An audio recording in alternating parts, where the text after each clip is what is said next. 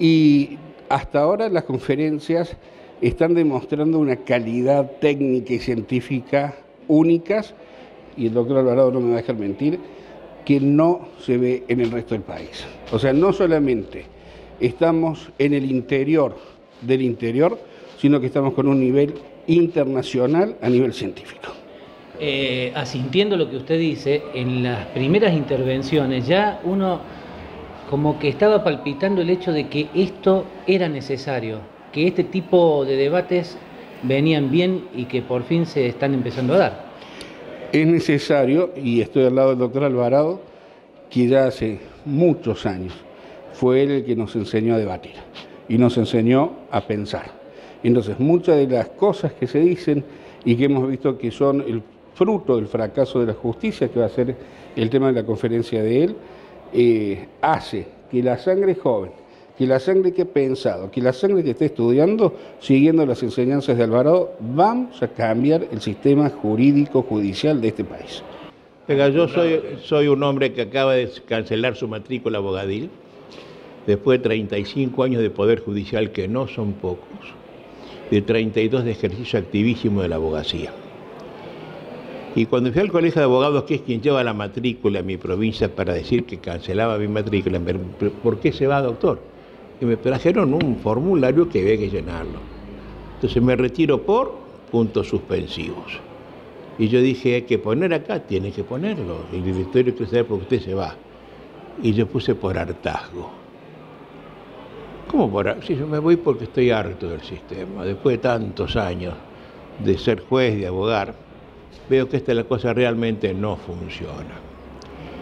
Y en los últimos años tengo la suerte de dar vueltas circularmente por América Latina y he descubierto que este no va más propio de la Argentina, ocurre también en todos los países de la región y más allá, ¿no? Yo diría que desde el Río Grande al norte de México hasta la Tierra del Fuego, la justicia está fracasando, llorando, porque hay una incoherencia normativa importante, porque los jueces hacen lo que quieren, porque hay un decisionismo judicial más allá de la ley, porque la constitución no se respeta, porque la gente, a la gente no le importa la ley, ¿no?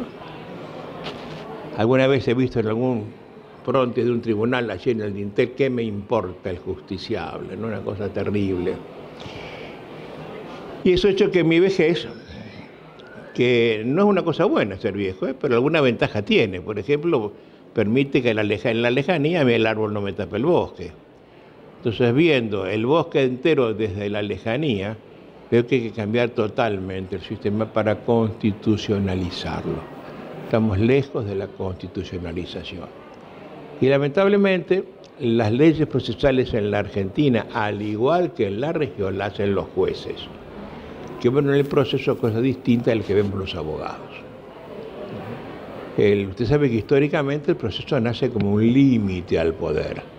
No es una cosa pensada para que los jueces jueguen conmigo, sino para que yo me defienda del sistema que los jueces representan. ¿no? Y eso es lo que hacemos con Manolo. Manolo es un, hombre de, de, real fuste y peso en la provincia.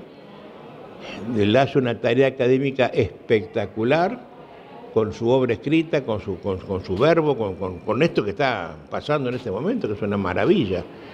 Yo nunca he visto en el corazón profundo de Córdoba, con Mes Belville, 300 personas sentadas atendiendo una conferencia, que además fue una maravilla la que dio de la Meroy, ¿no? Una, una cultura jurídica espectacular. Yo tengo para mí que esto hay que cambiarlo y para eso confiemos en las juventudes. La gente de mi edad es irrecuperable.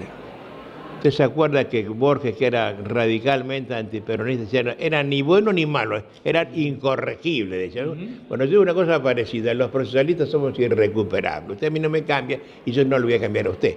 Pero la gente joven, el hijo de este señor, mi hija, mis nietos, puede que sí, ¿no? Puede que sí.